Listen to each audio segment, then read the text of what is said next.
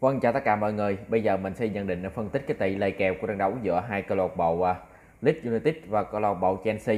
Đây là trận đấu thuộc vòng 3 giải Ngoại hạng Anh.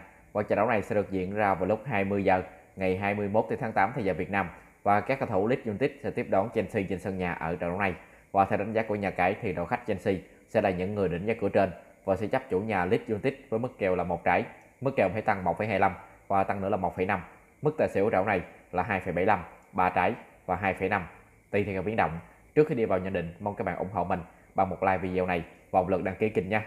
Và mình cũng xin thông báo thêm với các bạn là mình có tạo một cái kênh YouTube mới tên là Di Soi Kèo. Thì bạn nào quan tâm đến ờ, những nhận định của mình để tham khảo kèo bóng thì mong các bạn ủng hộ kênh mới của mình bằng một lượt đăng ký nha. Mình có để sẵn đường link kênh mới ở bên dưới phần bình luận của video này. Các bạn cứ việc nhích nhẹ cái màn hình, các bạn xuống dưới phần bình luận. Sau đó các bạn sẽ thấy một cái đường link màu xanh. Và các bạn ấn vào cái đường link màu xanh đó vẫn một chữ đăng ký là xong. Thì bây giờ mình sẽ quay trở lại với cái phần à, nhận định bóng đá của trận đấu này nha. Năm lần gặp nhau nhanh nhất của Leeds United và Chelsea. Thì uh, Leeds United uh, hòa một và thua 4 trước Chelsea. Năm trận thi đấu gần nhất của Leeds United thì uh, Leeds United thắng 2 hòa 2 và thua 1 năm trận thi đấu gần nhất của Chelsea thì uh, Chelsea uh, thắng 3 hòa 1 và thua 1 và ở trận đấu này với cái mức tỷ lệ thế này thì uh, theo nhận định của mình thì uh, mình chọn cửa đội chủ nhà Leeds United được chấp một trái hoặc là 1,25 ở trận đấu này. Vì sao? Có thể trận đấu này một lần nữa chạm trán với Chelsea thì Leeds United cũng bị đánh giá cửa dưới. Tuy nhiên thì ở mùa giải năm nay, Leeds United họ cũng không phải là hoàn toàn yếu đâu các bạn. Thứ hai là trận đấu này, Leeds United có điểm tựa trên sân nhà.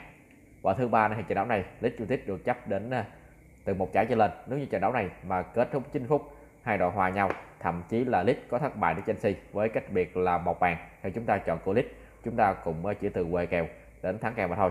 Và với phong độ cũng đang khá là ổn định thời gian đây cộng với điểm tựa sân nhà thì trong bóng đá thì nó cũng ờ, chưa nói trước được nhiều điều khi mà 90 phút chưa thúc.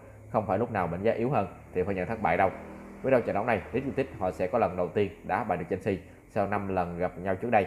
Không biết đến một chiến thắng trước Chelsea thì sao? Cho trận đấu này mà nào tin tưởng mình? Ưu tiên đi cửa đội chủ nhà Leeds United được chấp một trái hoặc là 1,25 chỗ này. Mặc dù là năm lần gặp nhau nhất thì những lần đá sân nhà thì Leeds United họ cũng thua Chelsea. Tuy nhiên thì đa phần họ cũng chỉ thua với cách biệt là một bàn mà thôi cho nên trận đấu này mà nào tin tưởng mình ưu tiên đi Kulit mình nghĩ à, nó cũng khá là an toàn.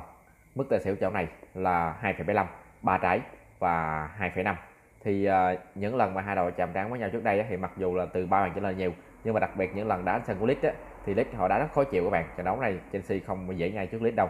Mình đi đón trận này có thể là kết thúc 9 phút sẽ có tỷ số là từ hai bàn trở xuống có thể là hai đội sẽ hòa nhau một điều hoặc là một không nhưng mà cho Chelsea là cùng nào tin tưởng mình đó ưu tiên đi cửa xỉu 2,75 hoặc là an toàn các bạn nên đá cửa xỉu 3 nha. Còn nếu như trận đấu này các bạn à, không tin tưởng vào à, uh, lít United và ưu tiên đá cửa xỉu không được. Ở mức hiệp 1 thì mức kèo chấp là 0,5 và sẽ một trái. Thì giờ dự đoán hiệp 1 có thể là với lợi thế sân nhà. Thì uh, Leeds United họ sẽ trụ vững trước Chelsea ở hiệp 1 hiệp 1 mình dự đoán hai đội sẽ bất phân thắng bại với số là hòa không mà thắng. Hiệp 1 các bạn chọn của Leeds United được chấp 0,5 và đá xỉu 1 nếu như mà có xỉu 1,25 thì nên đi xỉu 1,25 càng tốt và tóm lại, chốt kèo chọn cổ chủ nhà Leeds United và đá xỉu, ai một cũng vậy. Thì cái này là cái phần nhận định riêng của mình về trận đấu này. Anh em nào có kiến khác comment bên dưới nha. Còn anh em mà đồng ý với quan điểm này, thì mong anh em hãy like và đăng ký kênh nếu chưa đăng ký. Xin chào và hẹn gặp lại ở video tiếp theo. Chúc anh em may mắn nha.